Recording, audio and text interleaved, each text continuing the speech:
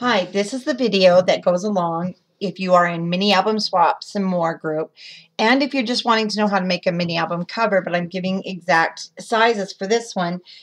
Um, our pages for our mini album page swap we made our pages six by seven. So you're going to want to cut your chipboard. You're going to need I start with my two pieces. You're going to cut yours at six and a half by seven and a half Mine are different sizes because I am actually not ready to make that album cover, but I had a request to make a cover. Um, this is actually going to be for an 8 by 8 album I'm working on, but you can still um, make yours. So cut your chipboard 6.5 by 7.5. And I do not make my spine until I make my hinges. So you need to decide for your album, are you going to have five pages or are you doing six pages? For this particular album, I'm going to do five pages. And so what I want to do is take my paper and I just cut it about an eighth of an inch shorter than my page. So if you have any of your pages made, then you'll just take one of your pages because this is the style that we did. And you just want to make sure that it will slide snugly but easily. So my pages, I don't hope this won't confuse you. Your pages are six inches wide by seven inches long. So I cut this, you would cut yours at six, five and seven eighths wide, sorry. I cut this one at seven and seven eighths to match this page, but you cut yours at five and seven eighths of an inch wide. So what you, like I said, you want to decide, are you going to have five hinges or six hinges? I'm making mine with five hinges. I don't ever make my spine chipboard piece until I'm done with my hinges so I can measure how big I actually want it. So I'm starting at one and a quarter because I like to have um, a quarter inch. So one and a quarter and a half of an inch. I like to have that quarter inch to start with, and I'll show you why. Then from that one and a half, I'm going to score half inch, half inch, and then we're going to score at a quarter of an inch. Then you're going to score again at half, half, and you're going to score at a quarter. And then we're going to score at half, half, and a quarter. So if you've never made the hinges like this, you'll see that you have in between your quarters, you have the half inch. That's one, two, so we're, we have three of our hinges so far. And we're going to score again at half, half, and a quarter. I'm going to score again at half, half, and a quarter. I'm going to double check. I have one, two, three, four, five.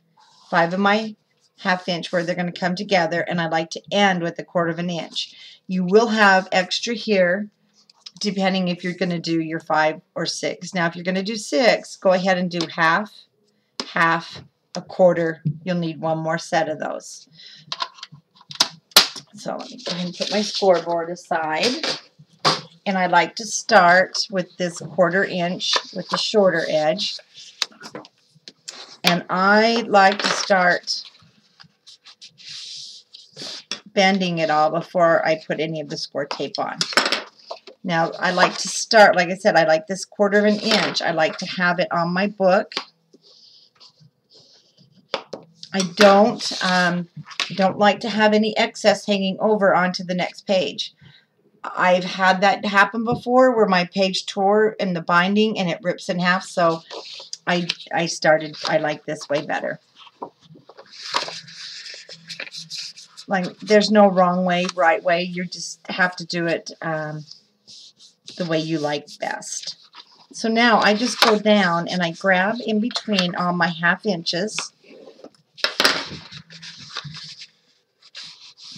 and I'm going to start just folding them over and back onto that quarter inch.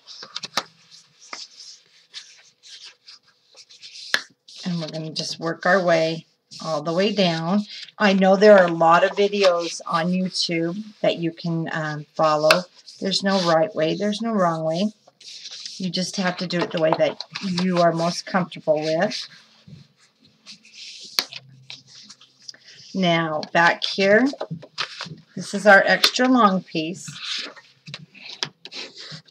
We're going to end up cutting that off, but I just, I kind of wait. So on the back side, turn it over, and I like to use quarter inch score tape. I mean, uh, 5 eighths of an inch score tape. It fits right inside of that half inch, really nice. And I always work with things towards me. So I start with that first one there, and then you're just going to skip a quarter inch, and you're going to work your way on all five of your hinges. And I'm just going to refer to five, but if you are doing six, go ahead. And you'll continue down. Now, on our quarter inch, we're going to now, on all the quarter inch spaces, we're going to go ahead and add quarter inch score tape. Uh, for the video, well, I always use score tape. If you are using a wet adhesive, then of course you, you won't do these steps. So um, you'll have to just kind of do your wet adhesive as we go. Okay, then I just make sure it's all down. I do like to flip it over and I clean up these edges. Make sure nothing's hanging over each side.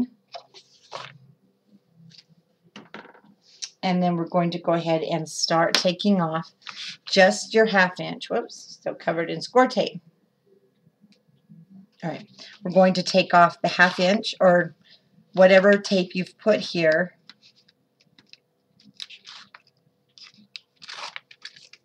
I'm going to remove the backing.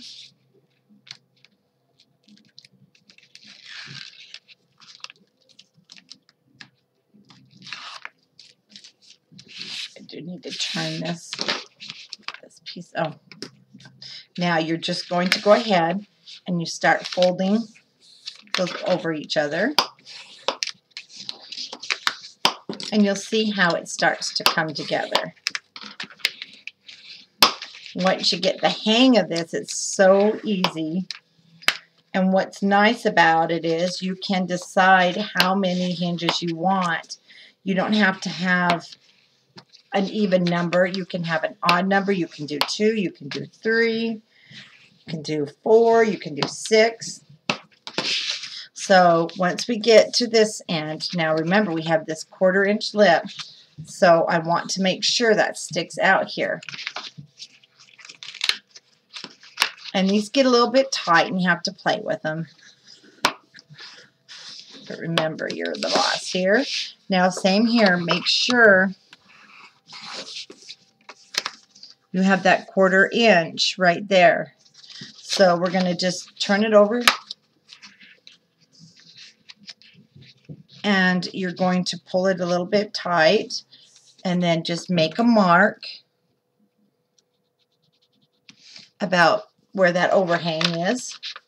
And I, you can put it in your, maybe that would be the easiest, your cutter, or you can take a razor blade. Either way is fine. I'm just going to grab my small cutter. And I'm going to cut that right off. And now we are going to take off all the backing of our quarter inch score tape.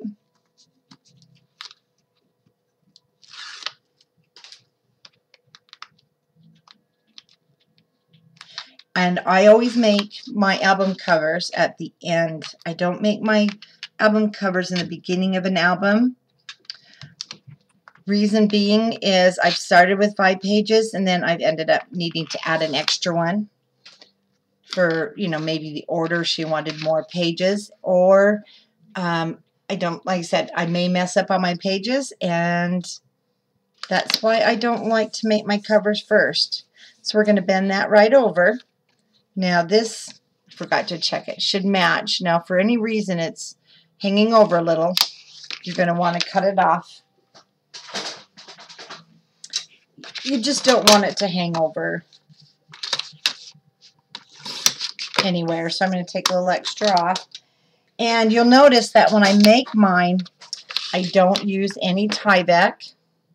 I don't use any Tyvek on my albums whatsoever. And I sell over two, 300 albums a year.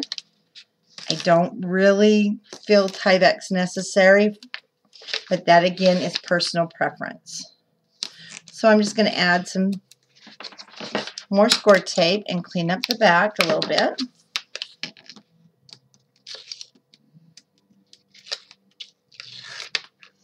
And then again, just kind of push against that quarter inch. Make sure you have that quarter inch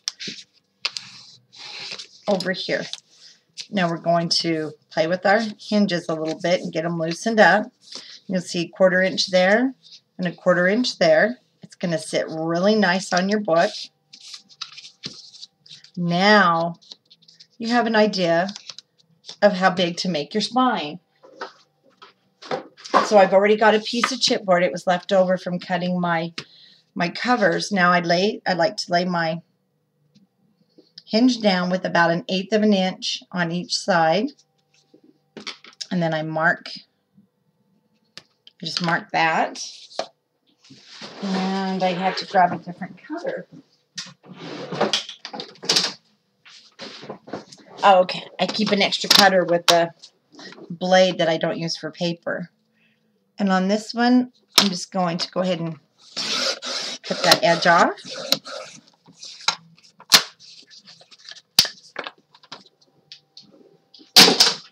Set that aside. I'm sure I'll use that for something. And just clean. And then I like to lay my hinge back down. So you should have that eighth of an inch on each side. Okay, now we are good to go with our cover. Of course, you want to use your um, 12 by 12 papers. I never, on any of my albums, I never use, especially the graphic 45 paper, to cover the chipboard. I just mat it. I mat it just like I do my pages. That way I don't have to ever worry about any chipping or or cracking of my paper because once especially your designer paper cracks or chips it's kind of devastating you have to admit now you have a 12 by 12 piece of paper you don't need it that long you need about an inch at the top so I like to just lay my chipboard down so you're going to have yours it'll be six inches by seven and a half and you should be able to cut off a, a good portion of it. So I just mark it so I have about an inch. I'm going to cut that right off.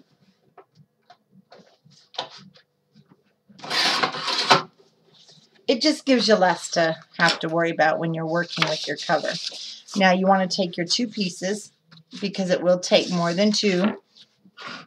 And I'm going to put those together. Uh, you can use wet. I'm just using, of course, score tape and I'm going to put a piece there. And then I'm just going to put a piece here.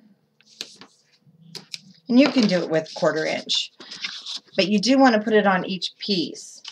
You'll see when they come together. For instance, when you put them together, some of this will you want to overlap. And so you want to make sure there's C-tape on both sides.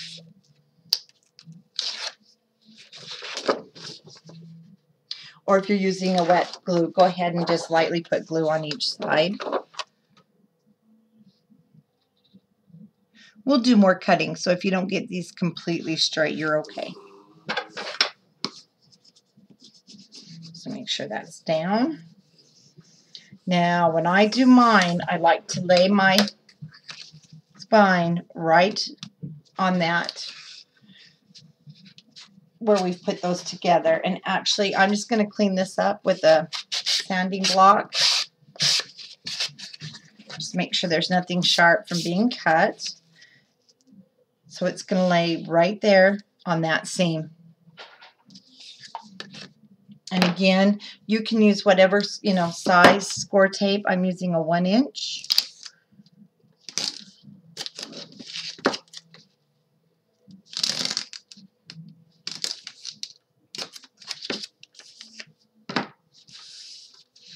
We're going to remove that.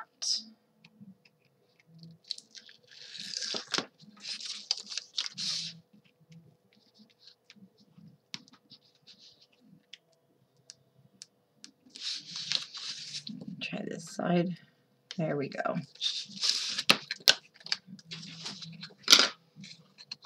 Okay, now I'm just going to center it. I'm eyeballing it.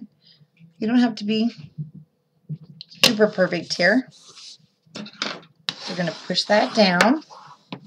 Now on both sides, I like to use quarter inch score tape as a spacer. You can go ahead and use anything that you want as a spacer, but I do recommend you use about a quarter of an inch.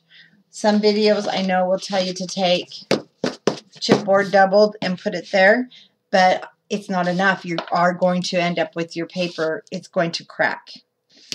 And so I just use quarter inch score tape. It serves two purposes.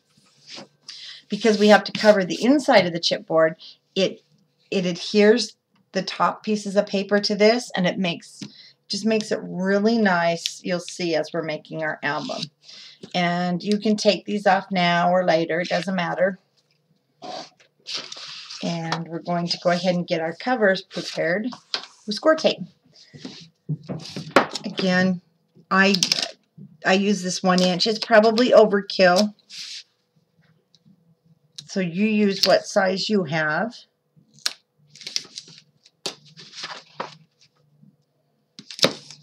I've never had an album fall apart using score tape. So I stick with it and I have found actually just by using score tape and I don't use any other adhesives in my albums, I don't worry about them coming apart. No one has ever called me or sent me an email on the albums they purchased complaining. So um, I just stick with my score tape. And as you can see, you don't have to be particular.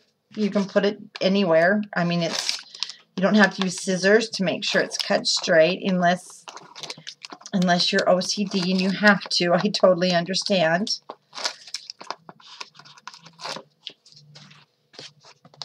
I figure they don't see this inside part and as long as it's all stuck down nice and tight, you don't have to have those perfect squared edges. Now using Okay, using the score tape. Remember, though, you're working six and a half inches this way, seven and a half inches that way. So you want to make sure you're putting it the right, the right way.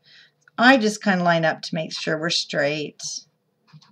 Use my finger as a guide and putting it at the other side of this quarter inch score tape. I'll just put that right down. And we're going to do the other side.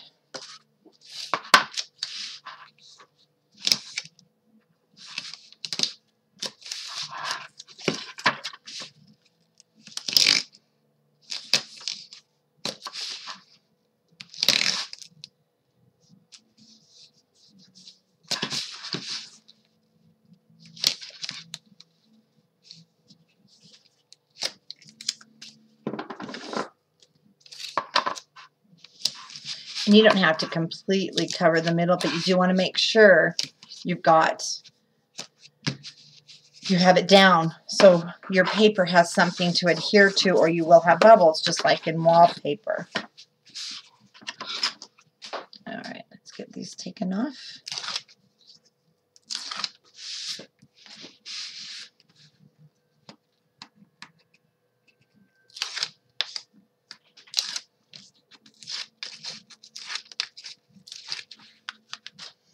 Using our quarter inch right here again. I'm going to first just kind of line it up, not putting it down, just so I have an idea. I use my thumb to kind of guide it and keep it straight.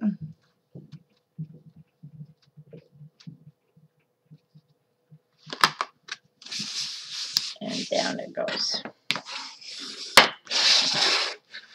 Okay, I'm pretty happy with the way it's, you know, there's not a lot of overhang, but on this side, it is a little bit longer than I like. So I'm just going to take my blade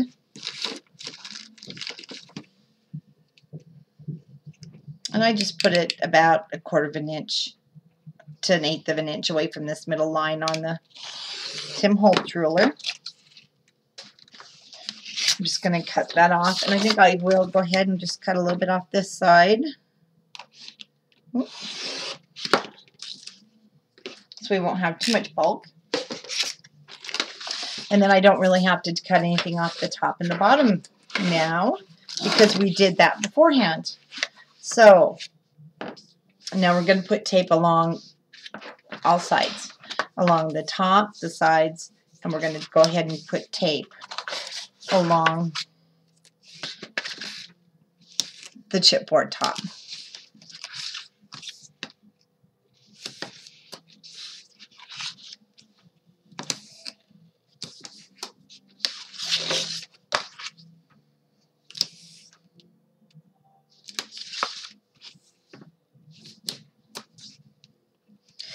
Now on your chipboard, there's no need, you don't have to stop and, you know, tear your, your score tape and then um, do another piece. I just go all the way across exactly like I did on, on the paper.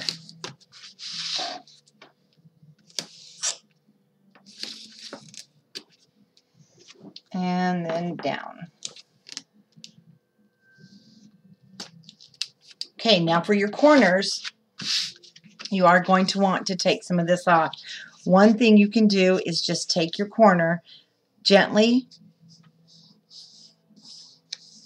bring it over your chipboard, and that kind of gives you an idea of where you need to cut because you have to have enough to meet each side so that you don't show your chipboard. And then I just cut a little bit above that line.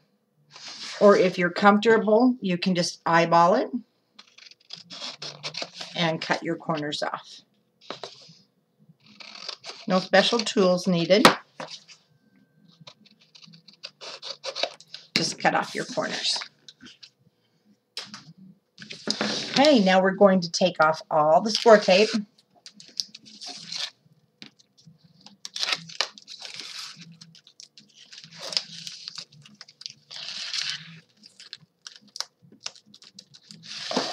You have lots of tape exposed here.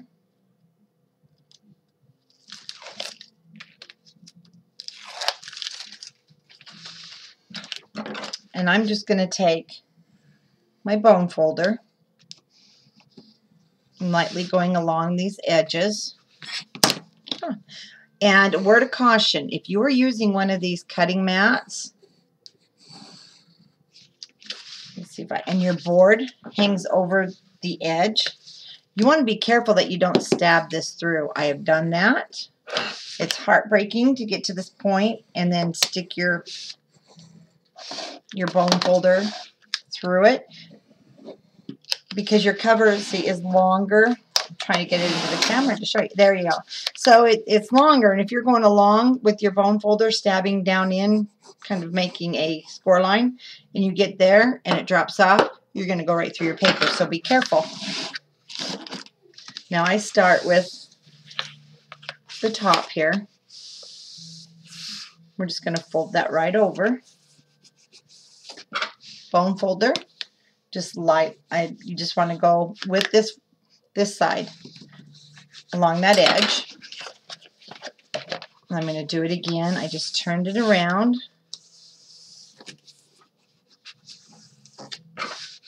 Remember, don't get too rambunctious up here on these edges with your bone folder. You don't want that paper to tear. Now, right here in these creases, if you have a Cricut and you have one of these tools with the rounded edges, or maybe a pencil with a firm eraser, I like to just go along those folded areas, and you're going to see how it pushes it down to the score tape it grabs it, adheres, so you don't have a bubble there and it doesn't try to um, fold over on you. I've had that happen before. I'm just going to help that down. Now you'll notice because you have a nice gap here, you could even fold, see how I'm folding them down upon each other? It's not going to stay that way, of course, But you can see how I'm doing that and you're not going to get any rips, tears, cracks. Now we have to deal with these edges. So one thing you want to do is make sure you push these in, these corners. And I'll be honest with you, it's easier if I turn this towards me. I'll try to get in the picture. I turn it in the I turn it so this is facing towards me and then I push this down right over that edge. I hope you can see. I know it might be a odd way to do it, but it's what's easiest. And then I have a nice clean corner. So I'm going to do that again. I just pull back a little bit so I can get that pushed on over. You can also use your your uh, bone folder to push it over, but I like to use my fingers. Less chance of tearing or poking through. So now you can see your covers really taking shape. So we have to now cover the inside. Now this part is up to you. Again, you can use your pattern paper. I don't. Along here, Graphic 45 and die cuts with a view is the worst for cracking. I don't know why, but I would just prefer to mat it. So you're going to need two more pieces of your whatever color you're going to use from the inside. And let's see, yours is seven and a half inches long. So you're going to cut it just an eighth of an inch shorter. Get mine cut.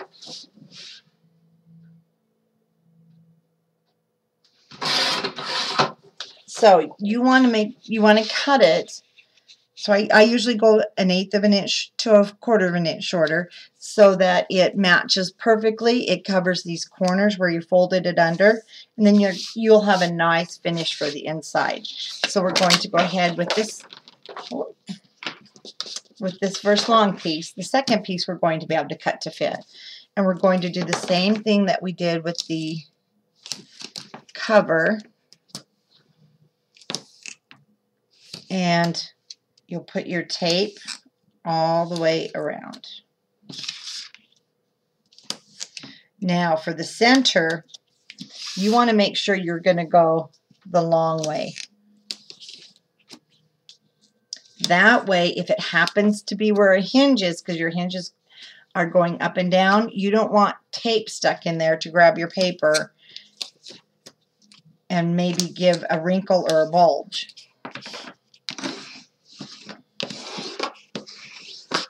The covers are probably where you're going to use most of your score tape or red line. That's why I like to use score tape. You can get it in these wider widths. Cover more area.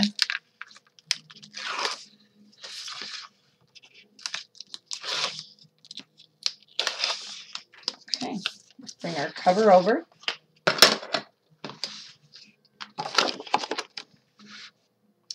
And oh, let me tell you, um, if you wanted to have a ribbon closure, that's also another nice thing because you're going to mat these. You don't have to put your ribbon closure till you put down your pattern paper. You can put it down this. So if you wanted to have a ribbon closure, you could add it now or you can add it underneath your matting. That way it doesn't matter. And that way if you get going and you forget, all is not lost. So we're just going to line that up.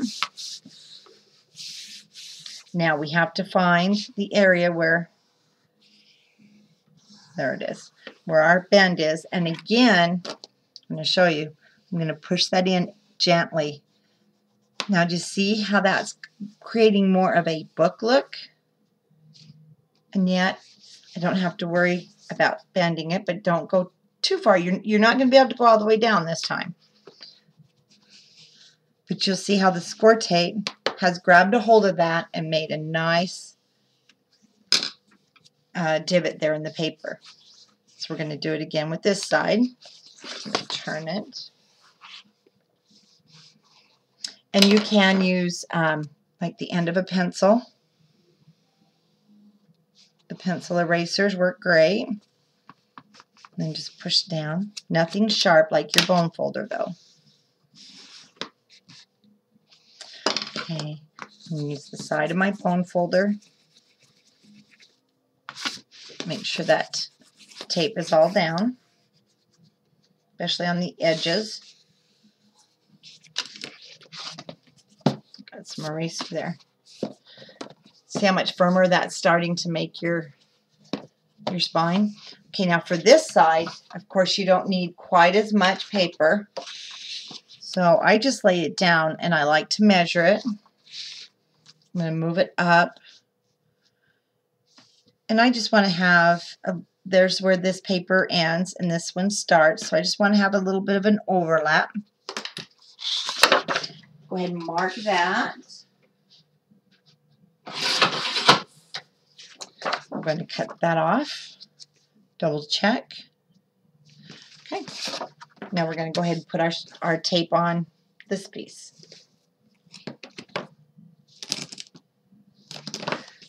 I mentioned before how I, I like to do my covers last. And again, the reason being I've started to make pages and then I've decided to change the size of the page or um, I've also made my pages, but because I did a lot of different add-ons that maybe stick out, I've had to go back and remake the cover so it was bigger. That is one reason I don't make my covers till the last. I know some crafters like to do them first. I don't because then you're stuck. You have to make, you know, your album that size or put that one away and make another one for whatever reason. And also the spine. I mentioned before, sometimes I want to do five pages and I'll have a customer want more room. So I end up making six pages. And if I already have my cover put together, that means I start over again on a different cover. So those are my reasons why I make my covers last.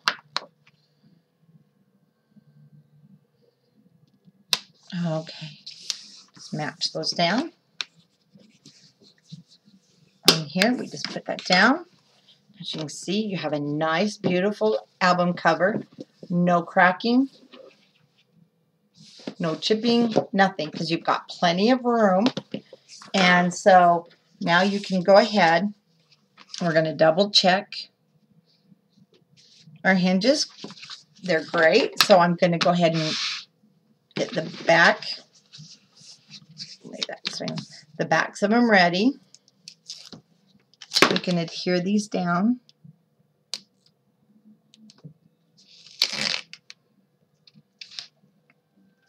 Now, this is the important part. Whatever you are using, make sure it's good, it's strong, because this is going to take, your book's going to take um, a lot of wear and tear here. And I'm actually going to put more tape there in just a minute. But what I want to do is now take my quarter inch score tape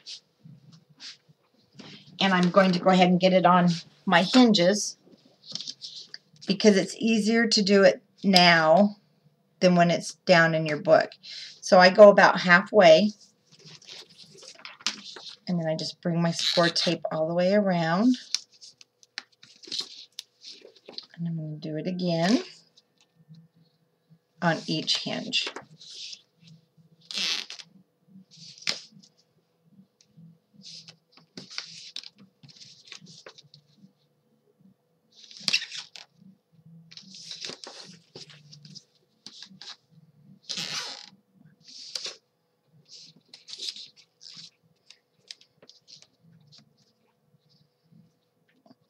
Hmm. There we go. Piece of lint sticking out of there.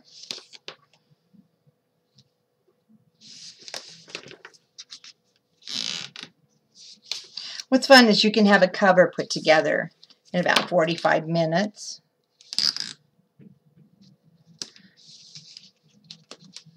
Whoops. There we go.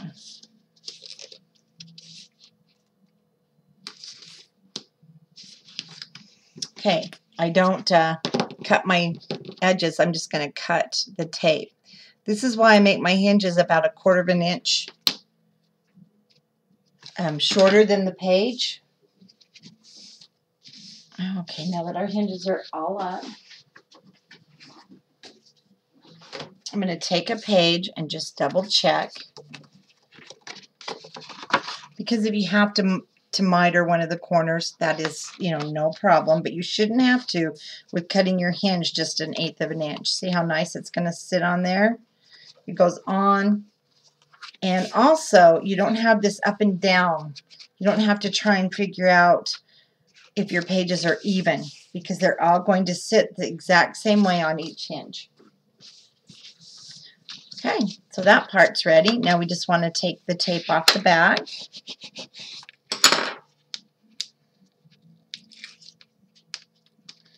Now I'm going to add another piece at the top. And another piece at the bottom. Now you need to decide on your um, album, are you planning on poking a hole? Do you need to cut a hole in it? Do you need, are you going to add charms? So you want to do that part. So if you're going to add charms, do that before you add your hinge or leave enough room. So, because your hinge is, is shorter than your album. It's the size of your pages. Then you just want to center it, decide where you want it.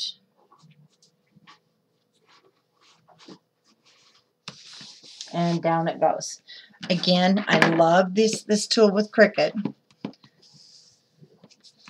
And I just take the rubber edge and I just go all through my hinges and the space here, the gusset. And then I know it's down there, it's secure,